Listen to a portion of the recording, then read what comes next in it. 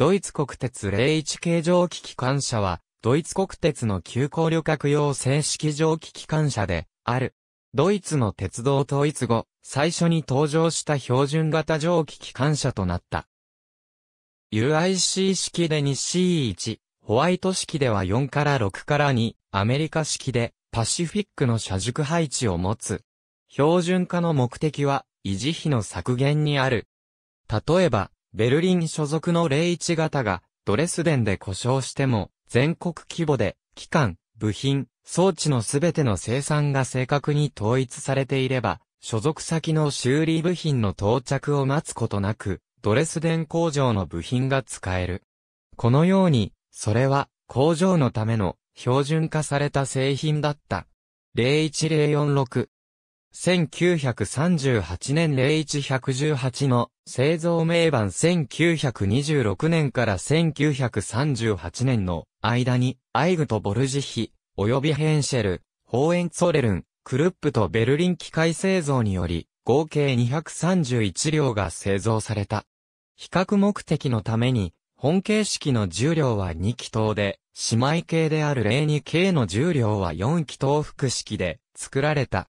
大規模な測定と試験が行われ、長い議論の後、より強力で、経済的な4気筒と比較して保守が容易な2気筒、構成に決定された。最初に営業投入された01系機関車は001号機でなく008号機であり、現在ボーフムダールハウゼン鉄道博物館で保存されている。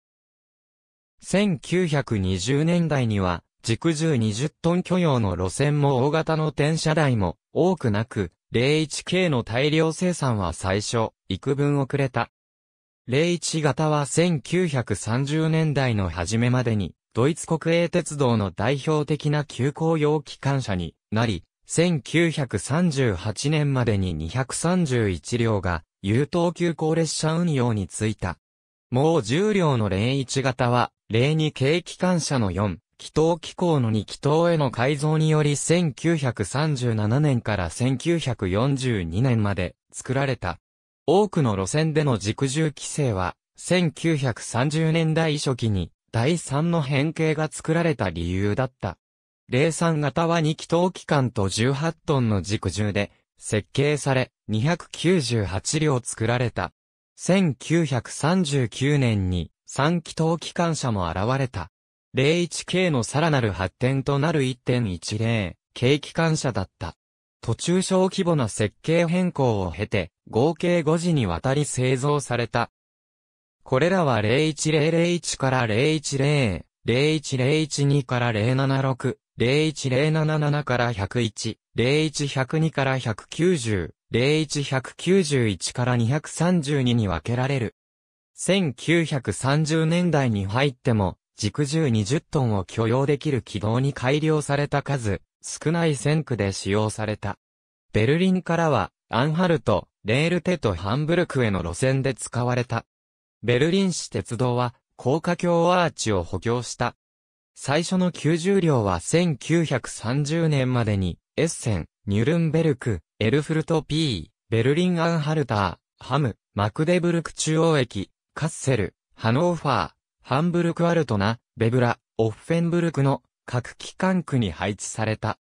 1931年からは、フランクフルトアムマイン1、ベルリンレアター、ブラウンシュバイク、ベルリンポツダム貨物駅、シュナイデミュール、ケーニヒスベルク、ゲッティンゲンピー、パーダボルン、ドレスデンアルトシュタット、ブレスラウ、ケルンドイツアフェルト、ホーフ、ハレピーの各機関区に配置された。フランクフルト歴史鉄道の01118-01008の運転台最高速度は、当初実速 120km に制限された。後に先はの直径は01102から当初の 850mm から 1000mm に変更、ブレーキ装置も動輪を両押しに変更、重輪にも追加設置することで時速 130km へ向上した。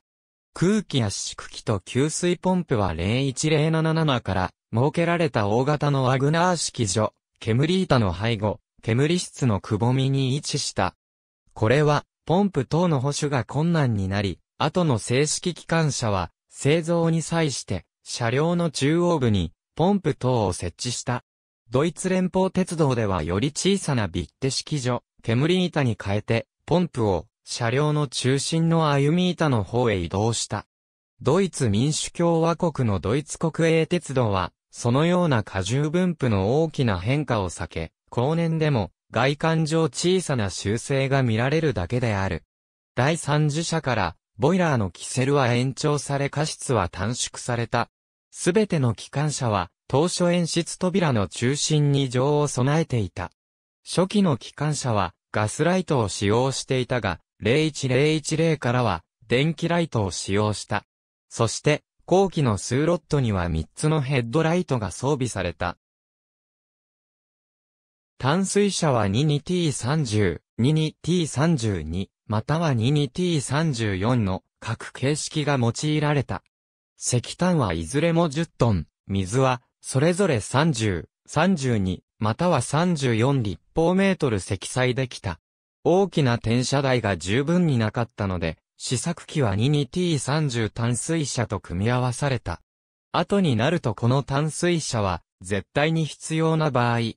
えば、オランダ国境を越えた運用で使われただけであった。第2次から01型はリベット組み立ての 22T32 淡水車を備えた。溶接の淡水車は他の機関車との交換で用いられた。水容量が大きかったので、その後、戦時中と第二次世界大戦後はほとんどこれが利用された。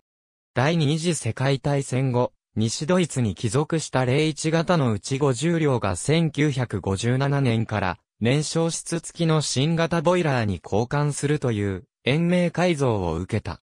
西ドイツのドイツ連邦鉄道では1973年の運用を最後に引退したが、東ドイツ国鉄に帰属した01系のうち35両が1962から65年にかけて燃焼室付きの新型ボイラーに交換シリンダーをピストン弁ごと心臓に交換重油滝に改造されて 01K の500番台を名乗る。